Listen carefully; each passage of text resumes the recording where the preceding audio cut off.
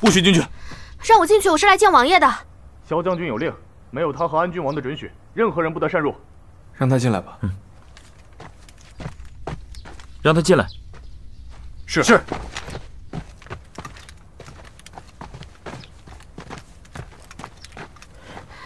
怎么这么着急？出什么事了？没事没事，我就是一早醒来没看见你们，我我以为，以为我对你食言，把你丢下，带别的仵作去开棺了。嗯，王爷，我不是不相信你，我就是，就是错了。开什么棺？这会儿还在做准备，晚些时候大哥自然知道。你们这是在找巫医大叔的去向吗？嗯。自他走后，这房中一直是这样吗？是。原来巫医大叔真的不打算再回来了。无论他去了哪里，我一定会找到他。那咱们现在干什么？四处看看，寻找线索。楚楚大哥，你们不必想着这是什么差事，只需凭着自己对他的了解，寻找一些任何与他有关，可能是他留下。或者与去向有关的痕迹就好。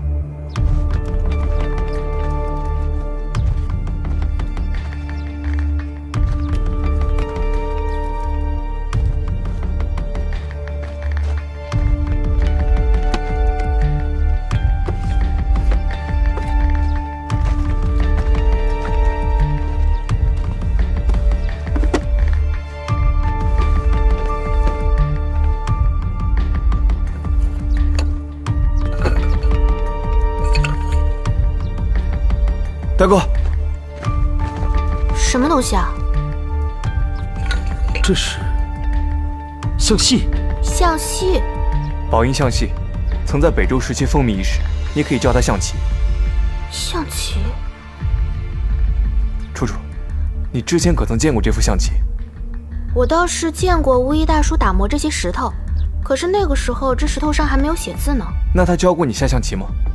没有。大哥，刚才找的时候，可曾见到像棋盘一样的东西？没有。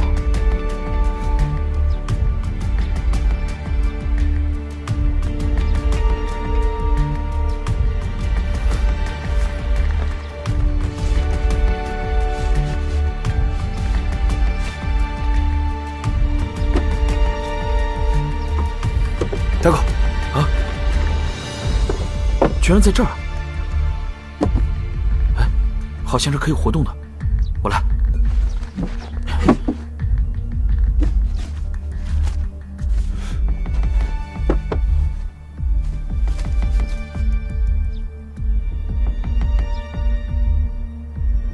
这，这好像是个残局。大哥，我们试试。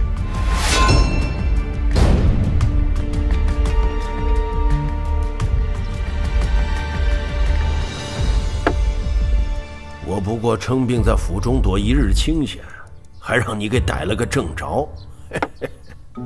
若非兵部事务千头万绪，学生实在没了主意，岂敢登门扰您清静啊！你初到兵部，免不了受些嫌弃。你想上任就三把火，他们也盘算着怎么杀杀你的威风。你到底是安郡王的先生，又是我的门生，他们忌惮你，也在情理之中。